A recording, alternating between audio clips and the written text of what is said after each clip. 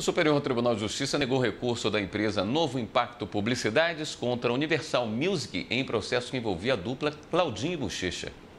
A Novo Impacto, que detinha os direitos autorais da dupla, disse que os músicos assinaram um novo contrato com a Universal durante a vigência do vínculo e, por isso, reivindicou o cumprimento do ajuste de cessão de direitos e indenizações por danos patrimoniais e morais. Em primeira instância, a dupla Claudinho e Bochecha e as empresas Universal e Moderninho foram condenadas a pagar indenização por danos materiais, mas eles recorreram.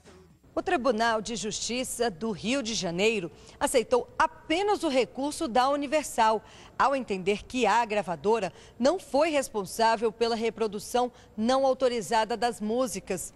Isso porque não foi realizado o registro do contrato de cessão de direitos em órgão competente quando foi efetivado o vínculo com esta empresa. Insatisfeita, a Novo Impacto recorreu ao STJ. O relator, ministro Moura Ribeiro, considerou que a Corte Estadual deu interpretação correta às normas que regem o direito autoral, que prevê o registro em órgão competente para que o contrato com os músicos valesse para todas as pessoas.